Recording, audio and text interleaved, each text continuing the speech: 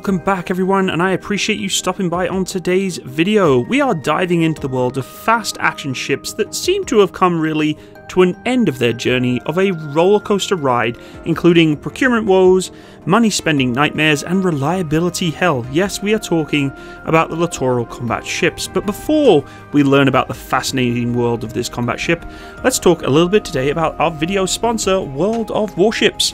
World of Warships is a free to play game available on both PC and console where you can command a massive naval fleet featuring some of the most historic and iconic war vessels out there, including unlocking new ships as you prepare to dominate the seas. I actually really enjoy playing this game with my friends when I want to take on a host of naval firepower in some really good PvP battles on the ocean waves. This game features new content released every month, including recently some major updates such as Godzilla vs. Kong, Transformers, Popeye, Megadeth, and Azur Lane collaborations. Whether it's new ships, in game nations, cosmetics, or even the ship classes, you can always count on enjoying fresh and exciting gameplay experiences all over the World of Warships genre. The game has more than 40 unique maps with dynamic weather, all of which have been updated with stunning new water effects and textures that make the game seas virtually beautiful as you sail around launching volleys of high explosive shells or torpedoes under the depths. The host of ships is impressive as well, giving the ability to conquer the oceans aboard history's most iconic battleships, destroyers, aircraft carriers, cruisers, and submarines. Oh, and I did mention that it is available on both PC and console cross platform, and if you're wanting to join many who are playing right now, make sure you click on the link in the description box below and use the promo code BRAVO when registering to receive a huge starter pack, including 500 doubloons, 1.5 million credits, and a 7 day premium account time, including a ship. So what are you waiting for? Go click on the link below and join many other players who are battling out on the seas right now in World of Warships. So let's get back to talking about the Little Crappy Ship, otherwise known as the Littoral Combat Ship, and its evolving identity has really changed quite a significant amount over the 22 year history that it's had, but recent developments have really firmly established it as a substantial financial burden, and unfortunately we're saying goodbye to the Littoral series, and it's quite a sad story overall, one of which I've always wanted to see succeed, but it just hasn't. The US Navy is in the process of decommissioning 9 out of the 35 Littoral Combat ships in addition to the 5 already taken out of service.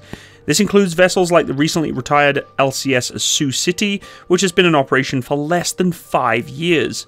Early decommissioning of these ships comes at a considerable cost, amounting to nearly 7 billion US dollars as per analysis by Defense News recently, utilizing data from the Congressional Budget Office. However, experts emphasize that the real cost goes beyond the financial figures as the Pentagon readies itself again for the possibility of a conflict with China, a nation that has spent the last two decades fortifying its anti access and aerial defenses to protect its shores, and the opportunity cost is even more significant.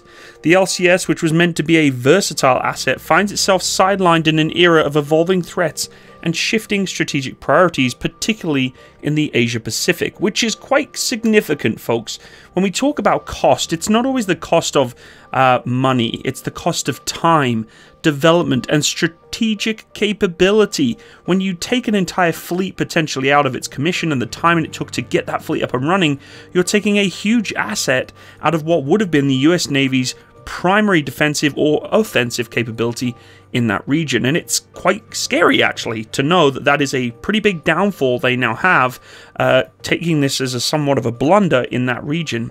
But let's talk a little bit about the introduction. How did this ship come to be? Well, the United States Navy's Littoral Combat Ship was conceived as a game changing innovation in naval warfare, designed to operate in shallow waters and close to shorelines, fulfilling a variety of naval mission profiles. Now, it was actually sort of benchmarked from the Danish Navy uh, when they looked at capabilities of ships being modular. You could actually change a ship and the way in which it operates with a smaller crew, therefore more flexible in shallower waters and shoreline waters. However, it didn't quite work out for the United States that way. Over time, this once promising program encountered numerous challenges, resulting in its eventual failure. Now, the ambitious design and concept was really, really high profile. I mean, we're talking about a wish list that I don't think Santa could even provide. The LCS program took shape in the early 2000s with a lofty goal of developing a family of very versatile, extremely fast, and modular warships that could adapt to the evolving demands of the modern naval warfare of today.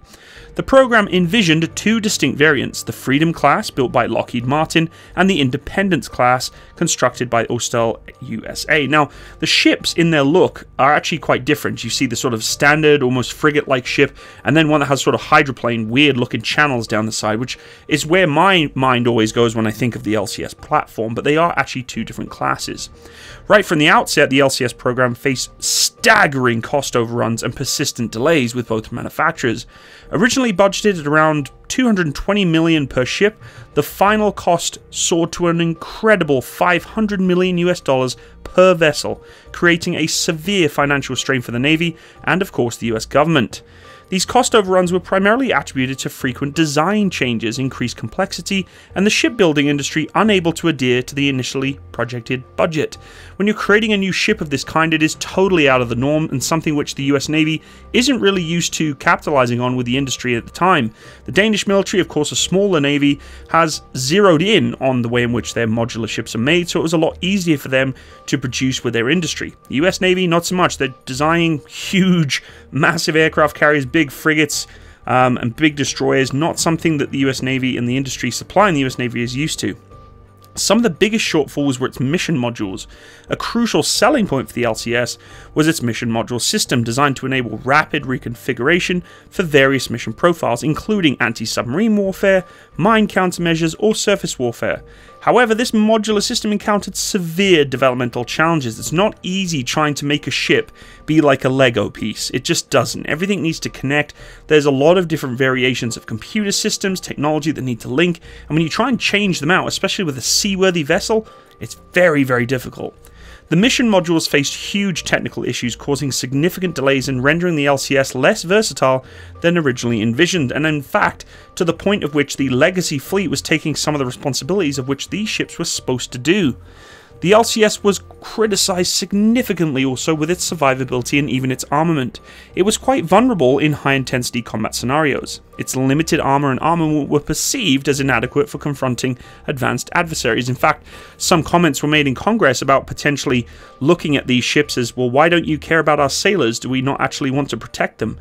Speed in a ship is something that's obviously pretty critical, but if you don't have the armament or the capabilities to defend it, it doesn't make much sense sending out to sea in a combat environment, and that is exactly what the US Navy was being pressured very heavily on from the defense sector and, of course, the US government. The issues raised substantial concerns about the ship's ability with, to really withstand threats from, of course, China, and anti-ship missiles are one of the big ones. There was also the sophisticated weapon systems that China were trying to develop, including Russia, with hypersonic missiles that could take out ships from long distance with absolutely no protection from Aegis carrier groups, um, which have, you know, uh, the aircraft carriers, the Aegis, uh, you know, missile defense platform. These ships aren't really going to have them because they're working independently. So it was really undermining its effectiveness in a contested littoral environment. There was also engineering problems and really, really bad mechanical failures. Throughout its deployment, the LCS program grappled with an array of engineering problems and mechanical failures. These issues range from propulsion system breakdowns, uh, basic equipment malfunctions, and even potentially hull integrity concerns. The high frequency of these breakdowns and failures significantly compromised the operational readiness and effectiveness of the LCS fleet, and of course, people were watching. There was a large investment into these ships, and when things failed, it wasn't just a blip in the water, it was a wave, literally. And the US government was noticing this, the defense sector was noticing this, and of course, the taxpayer was noting this. We're seeing ships coming back to port being repaired consistently on its sea trials and just not going well.